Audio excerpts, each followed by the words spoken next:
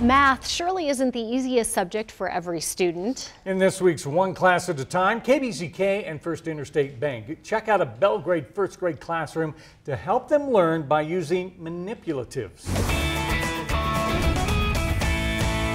Mrs. Hould, my name is Emma Hamilton and I'm with KBZK TV. And this morning, Lena and I from First Interstate Bank are here to present you with a pretty special gift.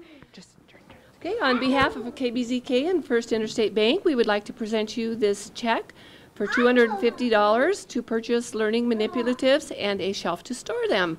Congratulations and thank you for applying for one class at a time. Thank you guys. Thank you so much. You are so welcome. And so, Mrs. Hould, could you tell us a little bit more about um, these manipulatives that you're buying for your classroom with this? Yes, absolutely. So when we do math, guys, do we do math stations when we do math? Yeah. And do we make it into kind of fun games where we move things around? Yeah. So I had a really hard time with math when I was a student. So I like to make math more of a kind of a game for them mm-hmm. with those man- manipulatives. So they're hands-on learning. They're able to move things around. They're actually able to count those objects to five and see that, oh, okay, five more makes 10 and filling those 10 frames. So.